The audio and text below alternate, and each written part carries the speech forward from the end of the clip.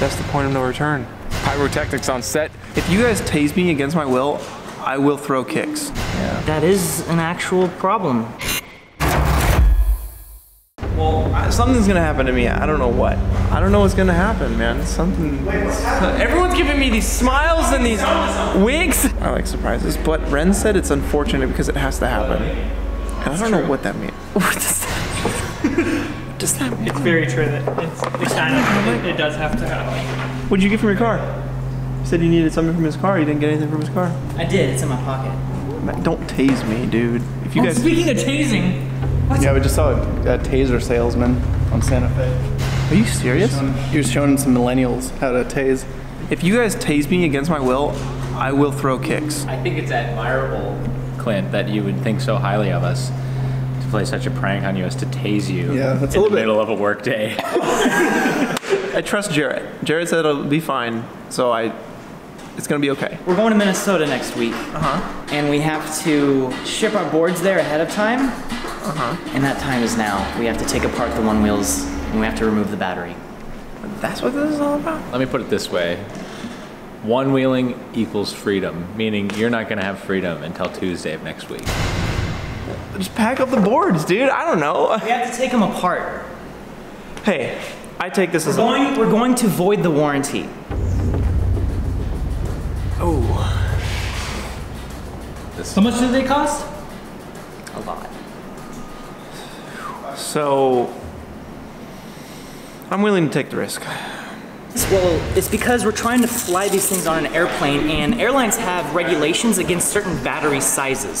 So the limit for an airline is 160 watt hours for a battery, between 100 and 160, it depends on the airline. The original one wheels had like 135 watt hours. These guys have 324 watt hours. So it's a big battery. That leaves us with a dilemma. We want to be able to ride these things in Minnesota. So what our plan is, and what Niko actually did yesterday, he just removed his battery and he shipped just the battery there, and then checked the one wheel into his baggage to fly with it.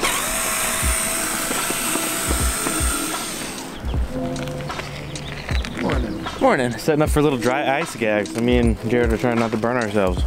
To be honest, probably won't be used, but Niko wants to do as much practical here as possible, so my instinct tells me it's gonna end up being VFX. We'll see how it goes. Cold fingies. Mm. A dry ice is frozen carbon dioxide. It's so cold that it skips the stage from solid and goes right into a gas, which is called sublimation. And that's why it looks so cool. It's very, very cold. It's effective uh, and it's fun. And if we put water in this bottle and let it start sublimating inside, it would eventually explode, which we may or may not do at the end of the day today. Deniability, we may or may not be doing this. I didn't hear anything. Oh, put that down. Like red. Blah blah blah. You know, like let's put this out. Niko's trying to make sure we get everything as it's written on the page right now, but everyone's also trying to get their two cents in and on how it can be better and changed. So it's a push and pull on that. I'm just kind of sitting off to the side because I like lasers. Drive towards your car. Maybe, and that's when Sam is like gets serious. And it's like He's headed towards we're your having car. fun still. Tough, tough decisions. This is like us, like thinking about this as actors. Utilize, utilize this. Don't ignore it, and then and then like hope that nothing messes up, Yeah, and then that's, start. that's great. That's great. But then I need you to focus on the acting in your character, which- not necessarily the entire. Which is why. Which is what. That's exactly what we're doing. to the point This is this is Yeah. literally a discussion about character. If you have if you have your suggestions, that's great. I would love to hear them. But let's go through the process. If we don't follow the process, then we end up making mistakes. It's going all right. Yeah. Yeah. Well, we're all filmmakers. Um, so everybody has their contributions, but it can be hard to direct until the idea is out there and you can see it and then you can adjust it. And everybody's in in their character and they have thoughts on what makes their character better, what makes it flow as an actor, which is all great. But I got to make sure that we follow a procedure so that I can see the scene that I've written. We can make sure there's no misunderstandings about the beats I've had on the paper, and then make adjustments. I just want to make sure that we are doing it in the proper order. Talked about it so much, but we still haven't ran it. Can we just ran it how we were initially planning on it? Okay, we got it. do it off the paper the very first time. I'm down to change it. Uh, Seriously, I do like all the suggestions, but you guys just gotta give me the one version. All right, we will do it for you, Niko. Thank you. Niko's way. Let's do it. Bullseye. Clint, Hit it, Wren. Stop it. It's headed towards your car. Good God. Everyone, piggyback run. Come on, let's go. run. All right. Like you were saying earlier, You, you get all the same gags, literally the same pacing, the same everything, except the character motivations to do what we're doing makes way more sense. Guys, let's just run it. Let's just literally run it. if you are trying to stop the laser now before anything bad is happening, it jumps the gun on the second half of the scene. It needs to be fun and games, not stop fun and games. That's fine. Well, let me pour the water, and I won't say stop the laser. I'll say, whoa, this is crazy, Wren. Because me running like, do it, do it, do it, me running and causing mischief goes exact opposite of what I was doing in the beginning. Yeah, it's just Consistent char- can, ideas there. consistent Sam, I understand characters. consistent characters. Thank you. Yes, get it. But, like, let's run All right, through it. But the, the Like, thing with the, we're the thing talking is, about it so much. Sam, We can't. You got- we're overanalyzing it. We gotta feel it out. We shouldn't be having this conversation by describing how we think it should go. Wren, Clint, myself, we should play this out, and if it feels right or feels like something's working, we'll know. And if it feels like this, we'll move on. Let's just do it, though. Standing around talking about it isn't Alright. the best choice. I'm willing to try it your way to see how it is. But Sam, I need your promise. If we try it and I don't go with it, that you'll still willingly commit to what I want to do. Yes, but but like let let us experiment a little bit here. Oh, dude.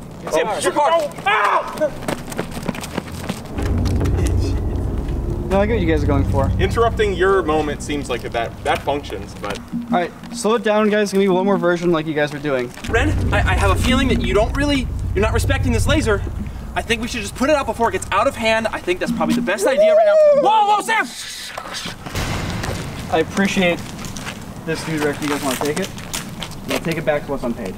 okay. Let's do it, guys. All right, let's do a rehearsal here. Can someone make that Yo, I'm Tom Cruise thing into a ringtone and put it on our subreddit? That'd be great, thank you. Why are we going to Minnesota? Well, first and foremost, we're going to be doing some scouting. And in addition to that, being that Sam, Niko, and myself are all from there, we wanted to show the town after the rest of the guys and have them check out the sights and sounds. They're really, really well engineered. They're built like tanks. And they do not like us making videos about taking them apart. They've explicitly told me that, but you know what? I bought this thing at full price. I can do what I want to with it. I put some extra hot glue in here to seal it from water. I'm gonna remove my front foot pads so it's out of the way. Now to remove the bumper, I'm gonna get at the screw. Th- This is this is great because this serves on top of a bumper. This serves as protection against the bottom of the board here. Very cool. It's built in. There's one motor wire. We gotta make sure to keep track of all the screws we're taking out. Okay, there's one.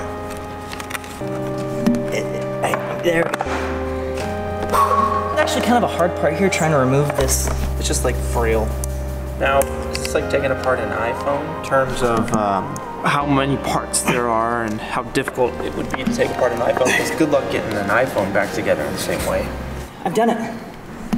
I've done it. I've taken apart an entire iPhone and I put it back together and it still works. Really? Jenna dropped her phone and cracked the screen, so we just bought a replacement screen. And I took it apart, placed it. It wasn't that hard. Did you use a microscope?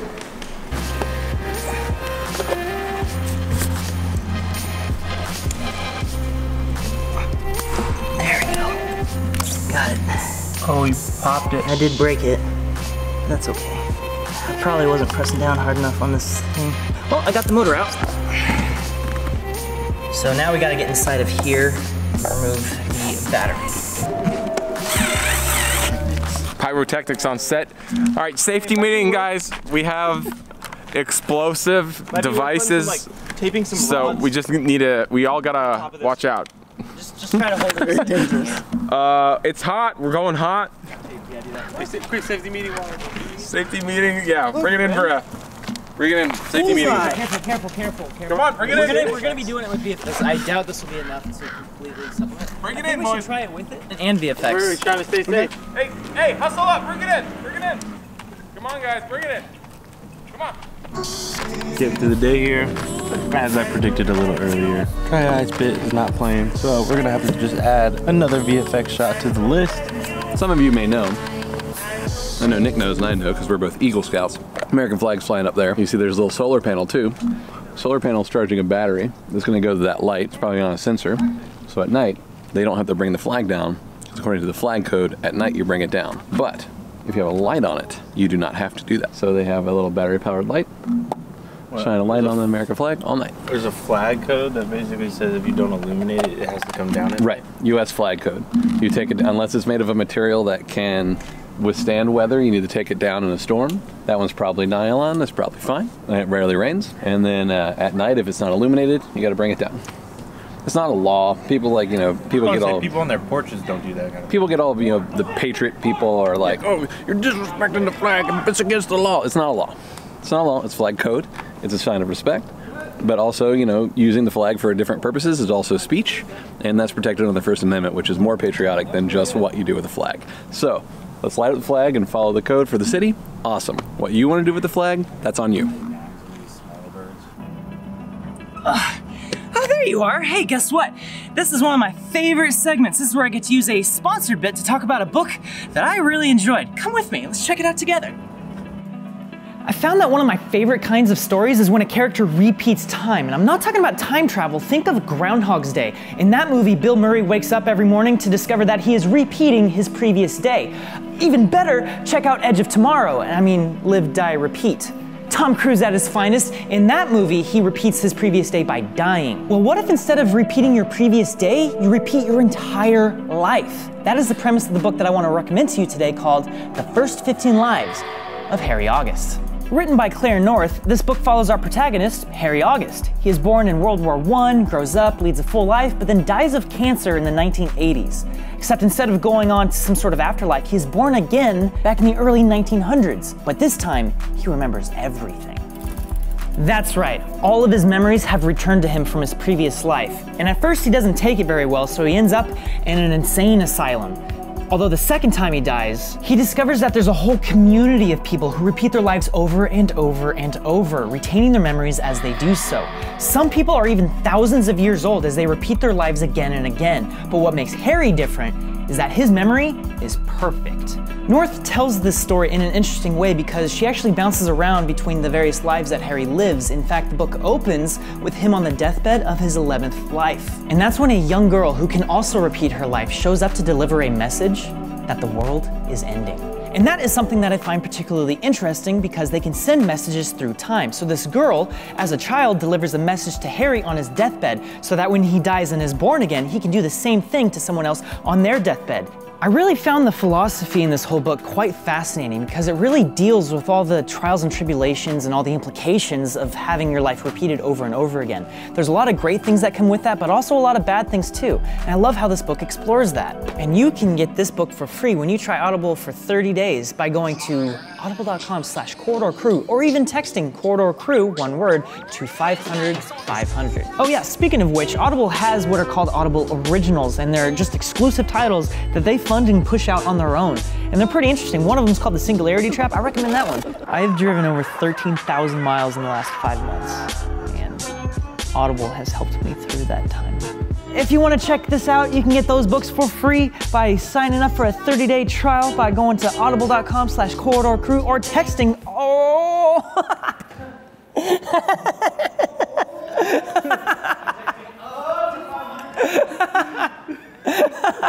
Keep going. Texting corridor crew to 500 500. Do it. You can get a free book. It's great. oh, this is this is the the craft and ride rear foot pad, by the way. It's concave. Gives you extra grip when you're riding, and it also relieves foot stress, or the bonky toe, as we call it. Uh, we got from Craft and Ride. They make great one-wheel accessories.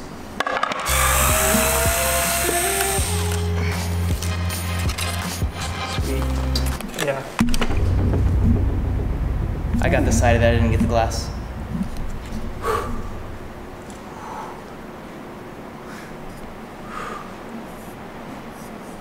Hey, we're good. Oh man. I am probably doing this incorrectly. Yep, you can see there there it is, it broke right there. But it is gonna come out now, so.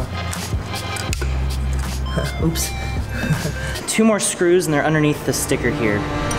That says warranty void if removed. That's the point of no return. That's the point of no return.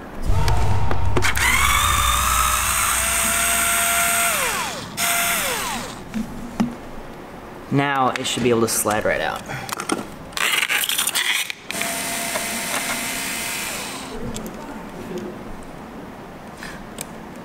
It's one of my favorite movies, Jared. What movie? Spaceballs. Oh, never seen it. I don't think it's gonna happen because this screw just spins free. I'm gonna have to ship it. The whole The thing. whole thing. The whole thing. Which could be very expensive. Yeah, 20 pounds. 30. What makes no sense to me is if I'm gonna ship this whole thing, they'd put it in an airplane. Because, I mean, exploding batteries is, yeah, obviously not a good thing. Yes, but there's never been a single case of a one-wheel battery exploding, even the new XR ones. They're Yeah. We're safe. Thing. I'm just gonna have to ship this whole thing. Good point. That would suck if that's the case. Well, Clint, also think about this. Whatever the cost is to ship that to Minnesota, Uh-huh. you're gonna pay double. To get it back. Yeah, no, for sure. Yeah. That is an actual problem. Yeah. How much is it gonna cost? Probably like 150. Um, It's not worth it at that point. Two day. If you want it there by Monday morning, Not worth. I might leave it behind. Uh, but Clint, wh- what about us riding together? It's tough.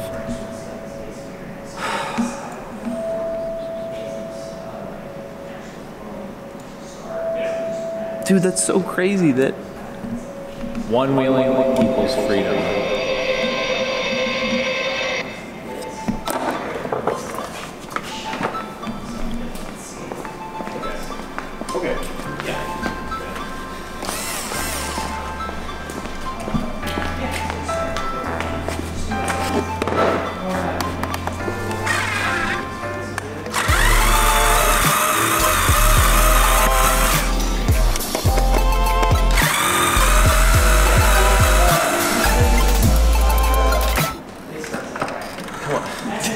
Tilt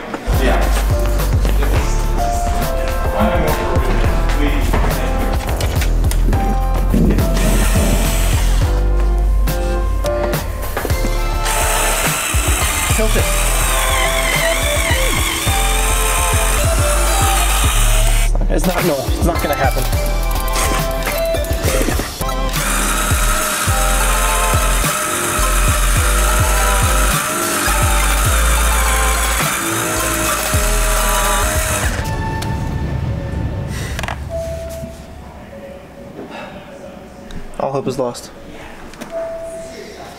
I thought I could. I thought I could. I thought I could do it. I might as well give you those push-ups now.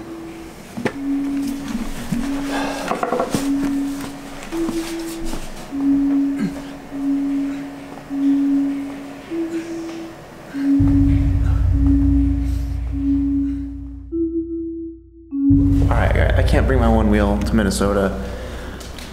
My only hope is to ask Cliff to borrow his because he has a V1 and they'll actually let you fly with the V1. Um, luckily, Cliff is my roommate, um, so hopefully he'll be chill with it.